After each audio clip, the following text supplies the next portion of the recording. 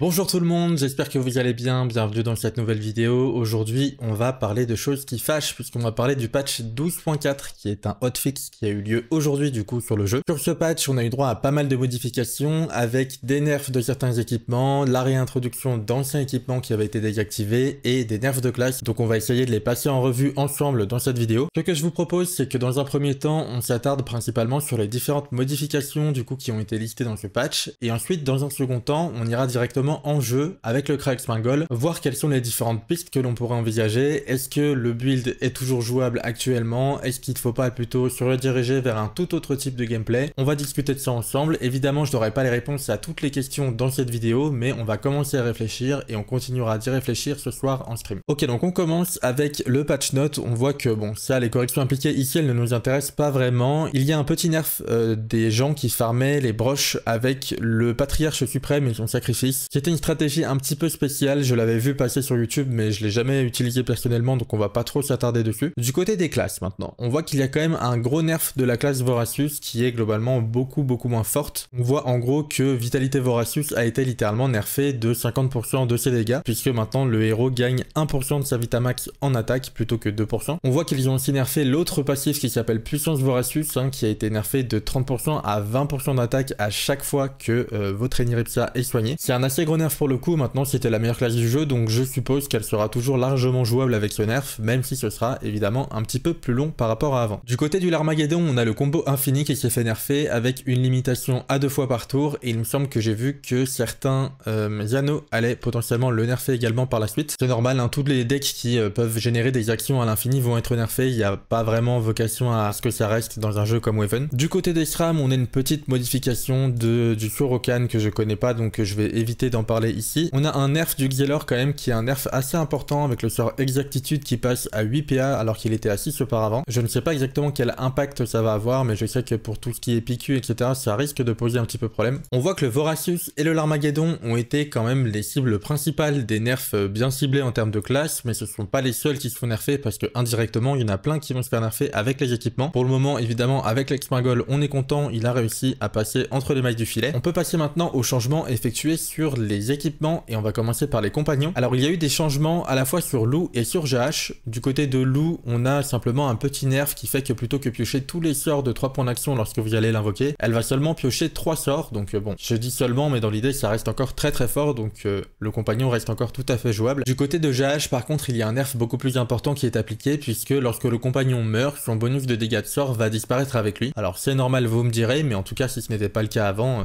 évidemment, c'est un nerf important. Du côté des anneaux, Là, on rentre dans le vif du sujet, on a pas mal de modifications et des modifications qui vont nous impacter, nous, en tant que joueurs euh, Kra Spingol, mais pas seulement les Kra, je vous rassure. On commence du coup par l'anneau oculaire, l'oculaire qui est dans le deck euh, du Kra Spingol, hein, que ce soit le 12 ou le 15, qui auparavant permettait de piocher deux sorts qui coûtaient 1 PA de moins. Désormais, il ne nous permet plus que de piocher deux sorts sans la réduction en PA, donc ça limite vraiment le nombre d'actions qu'on peut générer au premier tour. Et donc, dans le cadre du Kra Spingol, on pourra générer moins de jauge de compagnons et donc poser moins de compagnons T2, T3 et donc faire moins de dégâts. Donc, c'est un vrai nerf pour nous. On passe maintenant sur l'anneau pulant qui connaît un énorme nerf également, puisqu'auparavant il réduisait de 1 le coût en PA de tous les sorts qui étaient présents dans notre main. Désormais ce n'est plus le cas, il va plutôt réduire le coût en PA d'un seul sort plutôt que toute votre main, ce sera seulement le premier qui sera joué qui aura un coût réduit. Alors certes, la réduction passe à 2 PA plutôt qu'à 1, mais si on prend en compte qu'auparavant on jouait l'anoculaire et l'anopulant en même temps, on arrivait à une réduction de 7 PA dès le T1, ça nous a gagné donc 7 PA dans le tour, alors que là, l'équipé nous fait désormais gagner plus que 2 PA, donc c'est vraiment vraiment un énorme nerf pour cet anneau qui ne sera plus forcément joué, je suppose. Ici, nous sommes sur les deux anneaux qui sont joués dans le deck Expingol et euh, qui risquent d'être remplacés par des alternatives. On verra ensemble par quoi on pourrait imaginer les remplacer pour la suite. En attendant, on continue avec l'anneau Tello qui se voit imposer une limite dans la pioche de sort. Alors ça, pareil, je suppose que c'est pour euh, limiter les abus de génération d'actions infinies que peuvent effectuer certaines classes, notamment, je suppose, de l'Armageddon. Alors là, on voit que pour l'anneau Tilus, le Cupant et le Recru, qui était trois anneaux qui ont été désactivés euh, au bout de quelques jours et qui n'ont pas été réactivés depuis, on a eu vraiment des très grosses modifications. C'est-à-dire que les mécaniques de ces anneaux ont complètement été euh, modifiées et désormais ce sont des anneaux qui sont vraiment orientés compagnons. Donc on va voir ensemble, ça a l'air d'être intéressant parce que ça ouvre plein de possibilités pour les classes qui ont intérêt à invoquer des compagnons et à les maintenir en vie. Maintenant on perd aussi euh, l'option de pouvoir récupérer les sorts que l'on veut dans notre main à tous les coups. Donc voilà, c'est gagnant d'un côté, perdant de l'autre, mais je pense que ça apportait trop de déséquilibre et euh, ça engendrait trop d'abus et ils ont donc préféré complètement supprimer ces mécaniques. Du côté de la Nautilus, en nouvel effet, on voit que maintenant lorsqu'on va faire apparaître un compagnon coûtant au moins 5 jauges, on va augmenter son attaque de 15% et sa vie de 30%. C'est assez intéressant, il faut voir le genre d'augmentation qu'on peut faire sur les anneaux avec les runes, etc. Mais euh, ce sont clairement des anneaux qui sont là pour euh, maintenir vos compagnons en vie sur le terrain. On voit qu'on a une attaque de plus 15% et surtout une vie de plus 30%, ça peut être intéressant potentiellement pour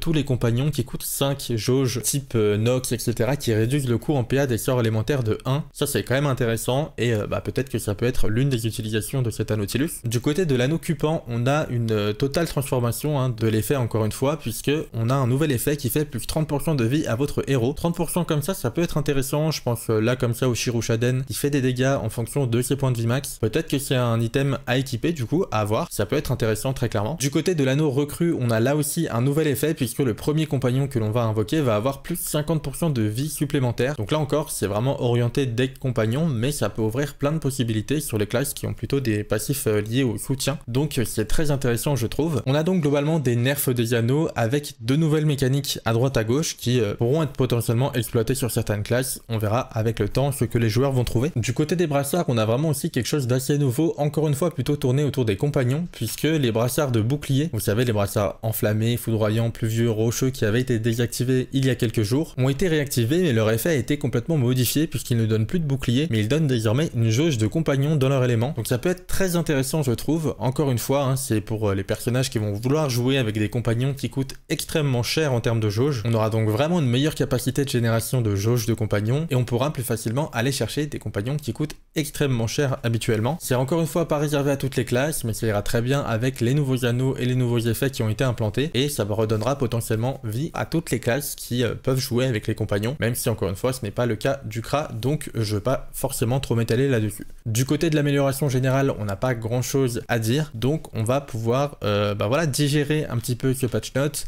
et regarder ce qu'on peut faire en jeu. Je ne sais pas du tout si on va réussir ou non à garder un deck viable tout en retirant ces deux anneaux qui vont pour sûr pour le coup euh, dégager du deck hein, parce qu'ils sont vraiment trop peu intéressants en dehors de leur bonus de base. Et vu que leurs bonus de base ne sont plus très intéressants maintenant également bah, ils ont un peu plus rien à faire dans le deck. En tout cas ce qui est sûr c'est qu'on va pouvoir envoyer beaucoup moins de sorts par tour. Ça c'est vraiment une certitude. Donc on aura plus de difficultés à générer des compagnons. On aura plus de difficultés à lâcher des mires sur les ennemis. Et on aura aussi beaucoup moins besoin de pioches puisqu'on va utiliser beaucoup moins de sorts par tour. Toutes ces choses me font penser que la Nora jaune peut être intéressant. Il pourra aussi être intéressant de partir sur euh, qui vont faire euh, plus mal en fait, qui vont augmenter nos dégâts de mire, envoyer moins de mire par tour mais faire en sorte qu'elle fasse plus mal. Pareil, envoyer moins de proc de foudre, de pluie, etc. par tour, mais faire en sorte que plutôt que faire du 40-50, elle fasse du 100-120 par exemple. De mon côté, j'ai commencé à regarder les anneaux. Du côté des brassards, je pense qu'on va devoir rester sur un brassard éventé ou euh, un brassard mouillé parce que euh, l'application d'état élémentaire est vraiment trop importante pour le CRA. Par contre, du côté des anneaux, il va falloir réfléchir du coup à toutes les nouvelles options. Est-ce qu'on veut rester sur un deck à 15 sorts? Est-ce qu'on veut plutôt passer sur un 12 sorts? Est-ce qu'on veut passer sur un 9 sorts. Franchement, tout ça, il va falloir se poser les bonnes questions, faire des tests et essayer de theorycraft tout ça. Du côté des anneaux, je suis encore en train de regarder. Je ne sais pas s'il faut plus euh, privilégier un stiné ou un gelano. Avec les nerfs qu'il y a eu, est-ce qu'on aura la possibilité de continuer à clean les salles en deux tours? Pas sûr. Du coup, pourquoi pas passer sur un gelano tout le temps par rapport à un stiné? Mais est-ce que le gelano est toujours si intéressant si on peut passer peut-être sur un deck bi-élément à 9 sorts qui permet de mieux cycler et de générer des états? Il y a quelques anneaux qui sont quand même pas mal intéressants. Je pense à l'anneau d'un qui permet vraiment d'augmenter fortement nos dégâts si on arrive à appliquer un maximum d'état astral sur la map, chose qui irait parfaitement avec le passif de l'expingole. On a aussi l'anneau cultant qui est selon moi intéressant parce que à chaque fois qu'on va appliquer un état élémentaire, on va augmenter le dégât de notre prochain sort. Donc encore une fois, ça va augmenter les dégâts de notre sort, certes, mais aussi de nos mires, mais aussi de nos différents procs de foudre, etc. Donc c'est intéressant. Le gel anneau, est-ce qu'il est toujours intéressant ou pas? En fait, il y a énormément de questions à se poser. Est-ce qu'on veut partir sur un deck bi-élément, tri-élément, quadri-élément? Est-ce que du coup, on veut garder les 4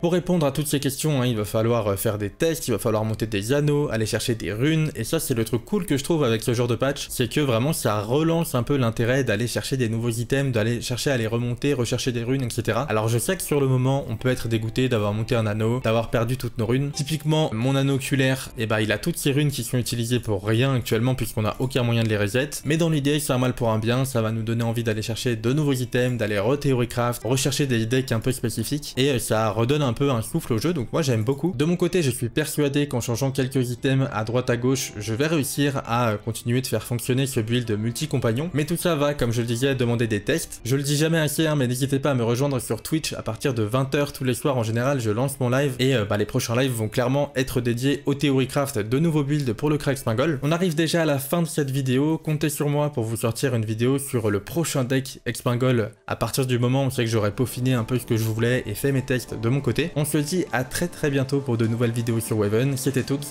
ciao